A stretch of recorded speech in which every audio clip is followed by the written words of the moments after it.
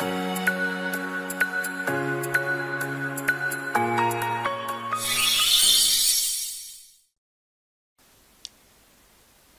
い。こんにちは、レトスノーノです。それでは12月28日の3問に入ります。A が所有する高建物に塀を設置するために、B に塀の設置を請け負わせた。その後 A は高建物を C に賃借し、C が占有している時に工事の瑕疵で塀が崩れ、第三者 D に怪我をさせてしまった。B は歌詞を作り出したことに故意または過失がなければ D に対する損害賠償責任を免れることができる。丸か×かという問題です。考えたい方は動画一旦ストップしていただいて、この動画の下の概要欄から問題文ご確認ください。え答えは、え丸ですね。え問題文の状況からいくと、A が所有する高建物があって、これに塀を設置するため、請負業者 B さんに任せたんですね。なんで B さんは請負業者です。そして A さんがこの建物を C に貸したわけですね。つまり C が占有者という状況です。A さんが所有者で、これを C さんに貸したから C が賃借人ですね。占有者です。で、これ塀があるんですけども、この塀っていうのは A さんは B さんに請負任して B さんが作った塀だということですよね。そして工事の瑕疵で塀が崩れて第三者 D に怪我をさせてしまったと。え工事に瑕疵があったんですけども、これっていうのは、え故意でもなければまた過失でもないってことなんですね。つまり、この工事業者 B さんっていうのは故意も過失もない。そういった状況だということです。その状況で B さんは D に対する損害賠償責任を免れることができるかと聞かれているんですけども、これはできるんですね。そもそも不法行為っていうのは、故意または過失があることを前提に損害賠償責任を負うって話なんですよ。つまり故意、過失、どちらもないというのであれば、損害賠償責任を負うことはありませんので、今回の問題は丸になるということです。で、途中なんですけれども、ぜひグッドボタン押していただければと思います。グッドボタン押していただければ励みになりますんでよろしくお願いいたします。で、問い2ですね。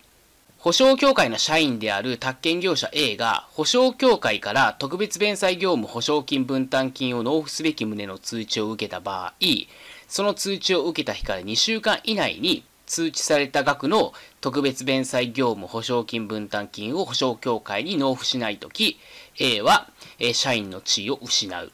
丸か×かという問題ですね。で、答えはこの2週間っていうのが誤りですね。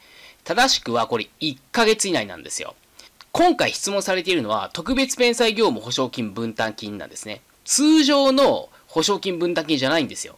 ここが、えー、ポイントなんですね。特別って書いてあるかどうかで全然話が違ってくるんですね。通常の、えー、まあ、保証金の分担金っていうのは、会社作りました。まあ、宅建業者立ち上げましたと。で、本店だけであれば60万円納付しますよね。え、支店もあれば、プラス30万円ですよ。え、その額なんですけども、この特別弁済業務保証金分担金は、それではないんですね。で、これ何かというと、保証協会が、還付などがあって、保証協会がお金をどんどん出さなければいけなくなったと。言った時に、保証協会が貯めていたお金が少なくなってしまう場合があるんですよね。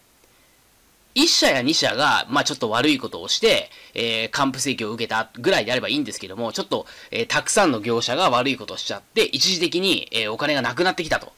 そういった時に、保証協会が社員に対して、ちょっと追加で、え分担金納付してくださいっていうことができるんですね。えこれが特別弁済業務保証金分担金なんですよ。で、この特別弁済業務保証金分担金については、通知を受けてから1ヶ月以内に保証協会に納付しないといけないんですね。なので、この点はちょっと別途頭に入れていただければと思います。で、続いて問い3です。盛土規制法の問題です。都道府県知事は、宅地造成等工事規制区域内の宅地で、宅地造成に伴う災害の防止のため、必要な擁壁が設置されておらず、これを放置するときは、宅地造成に伴う災害の発生の恐れが大きいと認められるものがある場合、一定の限度のもとに、当該宅地の所有者、管理者、または占有者に対して、擁壁の設置を行うことを命ずることができる、丸か×かという問題です。で、答えは、これ正しい内容ですね。まあ、この内容っていうのは、まあ、改善命令と呼ばれるものです。この一定限度ですね。この一定限度っていうのは、災害の防止のため必要な限度、かつ土地の利用状況等から見て相当であると認められる限度を言います。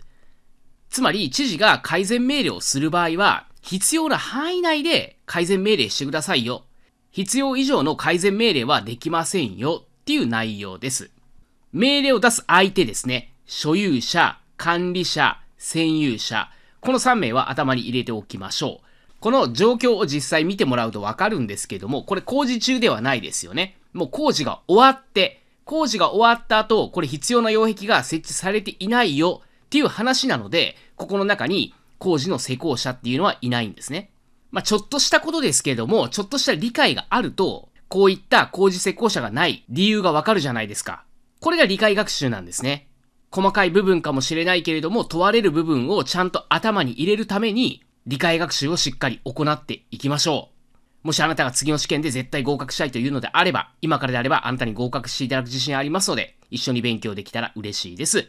個別指導はこの動画の下の概要欄に URL 貼っておきますので、そちらからぜひご確認ください。また個別指導の値上げまであと2日となっておりますので、年が変わるこの機会に勉強法を変えて、来年の合格を目指していただければと思います。あなたの受講をお待ちしております。レゾスの小野でした。